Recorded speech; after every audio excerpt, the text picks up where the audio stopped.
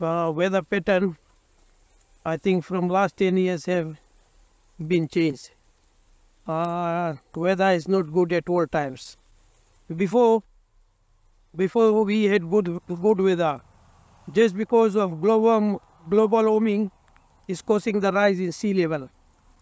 And uh, the low-lying fields are being filled with seawater. Uh, places where cane was growing some time ago, now the soil has been saline. We can't uh, grow anymore. If there is a drought, it continues for months, which affects the growth of cane. We are not able to make that much sugar just because of the weather pattern. You can see when the drought comes, I planted all along that one.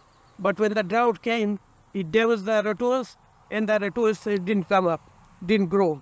So we have lost uh, see this much land. Now we have to hire the tractor, plow it and replant it. So we can get the maximum yield. The farmers are uh, very poor, you can see. We need the better price for cane farmers. That's number one. And the other one, we need help in the industry because the tons of cane per tons of sugar. We are not able to make that much sugar just because of the weather pattern.